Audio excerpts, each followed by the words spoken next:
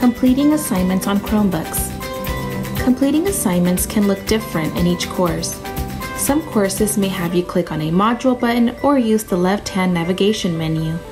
When you open an assignment in Canvas, students will need to read instructions to determine what kind of assignment it is. It may be a quiz, discussion post, or they'll need to submit something.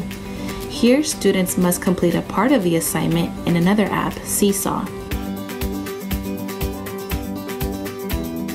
Going back to the Digital Resources tab and clicking on the Seesaw button, students are able to log into their Seesaw accounts. They may need instructions if it's the first time they're logging in. They can then click on the Activities menu option, find their assignment, and click Add Response. Here, they will see the regular Seesaw tools where they can edit their assignment, reread the instructions, and click on the green check mark to submit.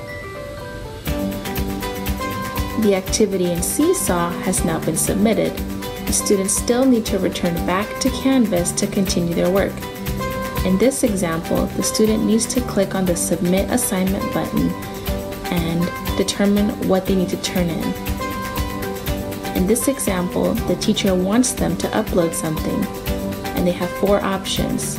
We're going to click on Text Entry where we will type and let our teacher know that we have submitted our assignment in Seesaw.